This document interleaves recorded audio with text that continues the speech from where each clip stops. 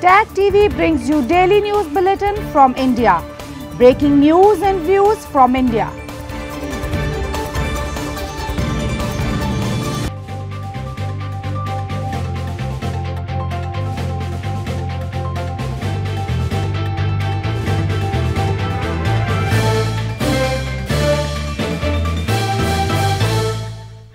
Good evening. Welcome to South Asia Newsline. I'm Surbhi Sharma. Here the top stories we are tracking for you on Friday, the 8th of November. Security stepped up on Indian side ahead of Kartarpur corridor inauguration. Ceasefire would show Taliban's will for peace, says Afghan president's senior advisor. And dengue cases continue to turn up across Nepal's capital.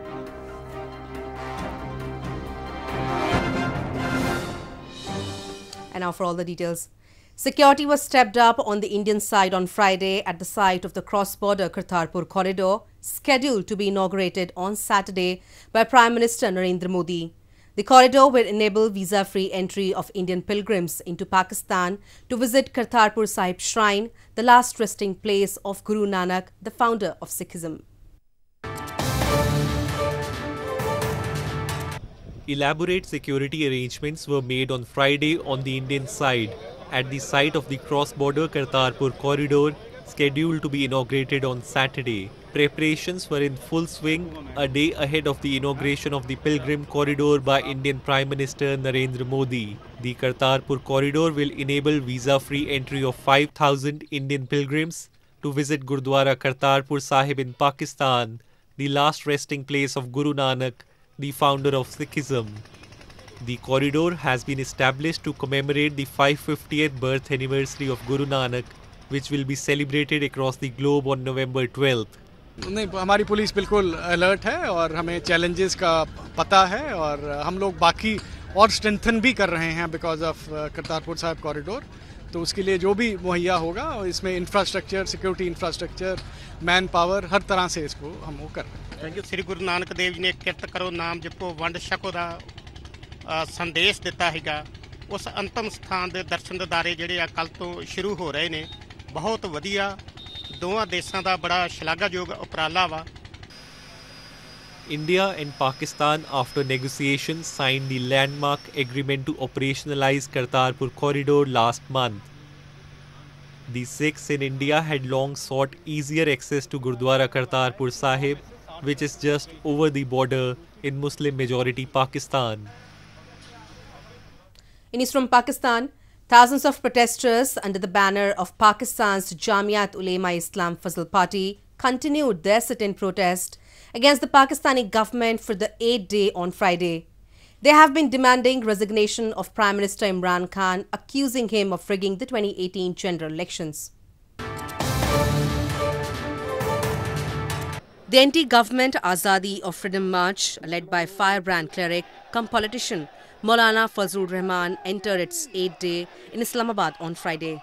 Thousands of Islamist protesters have camped in the city since October 31st under the banner of Rahman's Jamiat Ulema Islam Fazl or JUIF, demanding Prime Minister Imran Khan's resignation, accusing him of rigging the 2018 general election with military support.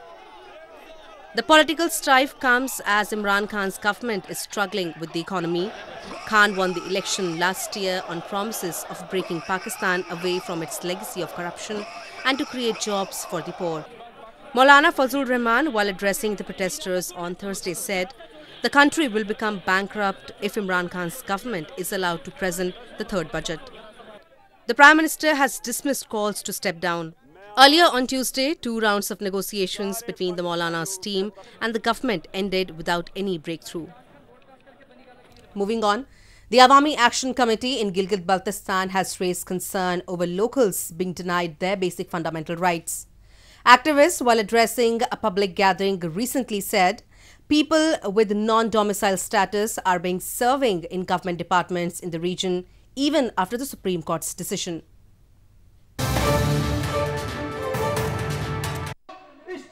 Leaders of Awami Action Committee recently held a gathering to raise voice against the struggles of people living in Gilgit-Baltistan.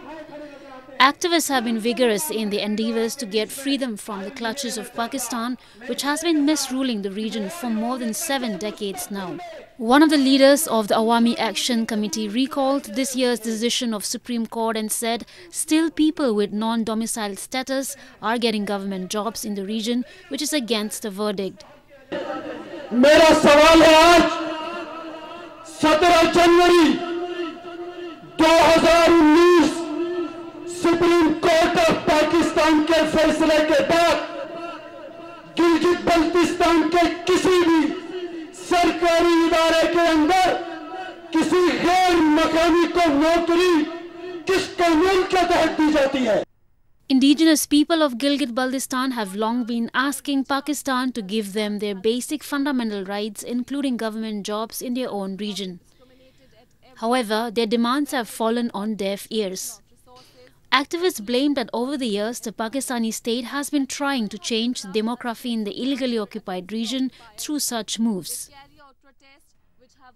In from Afghanistan, senior advisor to Afghan President Ashraf Ghani, Wahid Omar, has said that a ceasefire will show the Taliban's will for the peace. The remarks come ahead of proposed talks in China on the Afghan peace process. Afghan President Ashraf Ghani's senior advisor for public and strategic affairs, Wahid Omar, on Thursday said that the government wants to gauge the Taliban's will for the peace process, and this could be seen in a ceasefire. Omar made the remarks while announcing that a list of participants for the proposed China meeting on Afghan peace has been finalized, which will represent the entire government and all Afghans, local media reports said. The Afghan government has repeatedly asserted that it sees ceasefire as a precondition for peace talks with the Taliban. Meanwhile, Chinese Foreign Ministry spokesperson Geng Shuang said on Thursday that China firmly supports the broad and inclusive peace and reconciliation process that is Afghan led and Afghan owned. Respecting the interests of all parties, we stand ready to provide facilitation and assistance to the peace and reconciliation process, including intra Afghan dialogue and negotiation, he said. The Taliban has announced that they were invited by the Chinese government and that a delegation from the group will attend the meeting. After depending on illicit crops like opium poppy to earn a living for years now, some farmers in Afghanistan's Kandahar province are reviving fields to harvest cotton. As poppy production is restricted in some parts of the country, local officials are hoping cotton production will be highly focused as an alternative crop.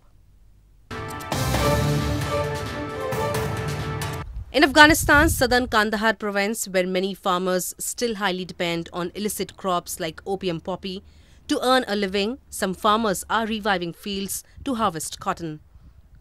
As poppy production is restricted in some parts of the country and the opium price has also dropped, local officials hope cotton production will be highly focused as an alternative crop in the province where poppy is grown heavily.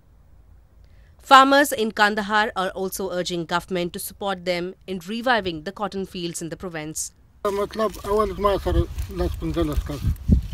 مطلب اول ما سره لاس پنځلس کس بیا نو ما ته خپل هم ډېره فایده ده در باغ در تاریاکو در هر بلا شي نو موږ په دې ډېر خوښ یو ښه پاک کښ In 2018, some 6,400 tons of illicit poppy opium were produced in western and southern parts of Afghanistan, much lesser compared with the production in 2017, according to official figures. The government has also been trying to fight against the illicit drug trafficking in the country, but farmers who make profit out of poppy cultivation take Taliban support to protect their poppy fields and also in selling of the illegal produce. The number of dengue cases have continued to rise across Nepal. A health official on Thursday said around 100 patients affected with the mosquito-borne disease visit hospitals in capital Kathmandu almost every day. Around 100 patients suffering from dengue fever visit hospitals across Nepal's capital Kathmandu on an average every day, a health official said on Thursday. According to Epidemiology and Disease Control Division of Nepal, six patients have died and over 14,000 patients suffering from the mosquito-borne disease have been registered across the Himalayan nation between July to early November.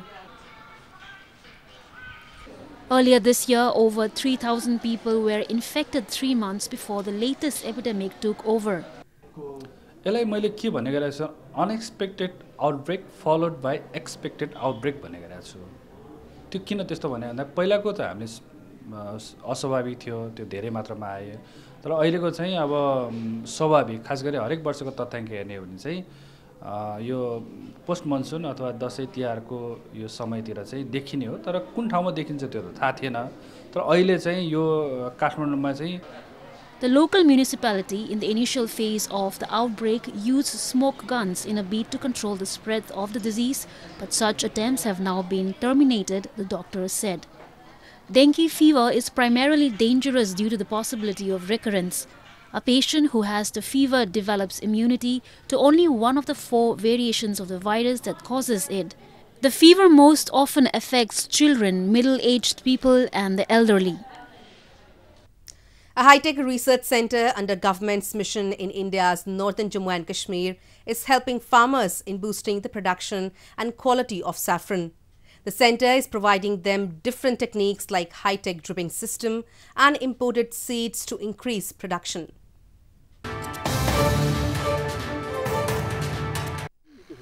A high-tech research center in Pulwama district of India's northern Jammu and Kashmir is helping growers in boosting the production and quality of saffron in the region.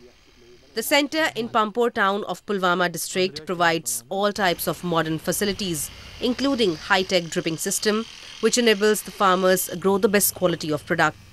The High-Tech Research Center under government's National Saffron Mission was established by Sher Kashmir University of Agriculture, Science and Technology few years back as an experiment to improve the quality and quantity of saffron.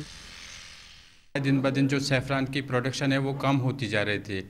इस सेफ्रान station की बदौलत इन्होंने ऐसे तजुर्बों के यहाँ पे बहुत सारे तजुर्बे किए जिसके मदद से हमें बहुत मतलब प्रोडक्शन में इम्प्रूवमेंट हो रही है। इसमें हमारे पास जो इस वक्त तहकीक तजुर्बात हो रहे हैं वो सेफ्रान के ही मतलब हो रहे हैं।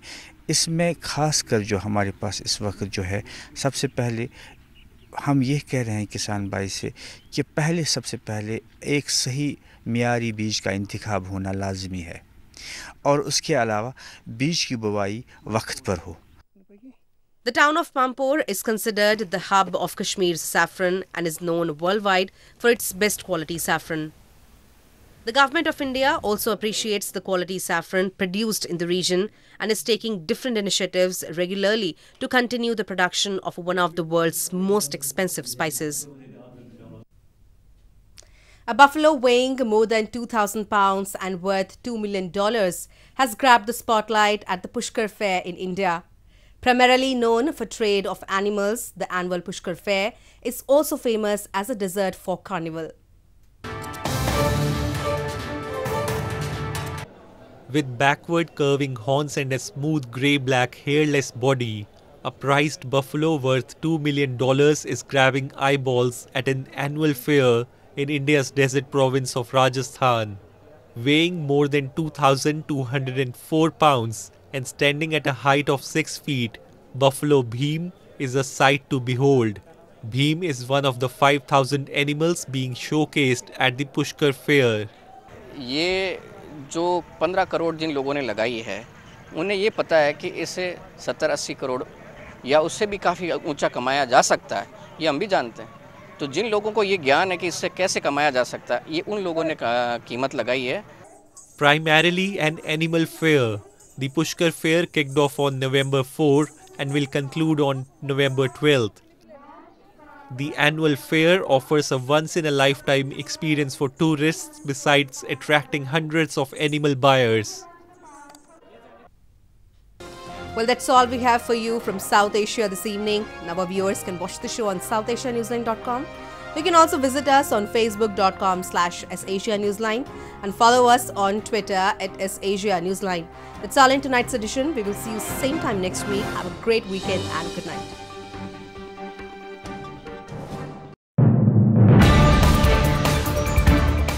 Tag TV brings you daily news bulletin from India. Breaking news and views from India.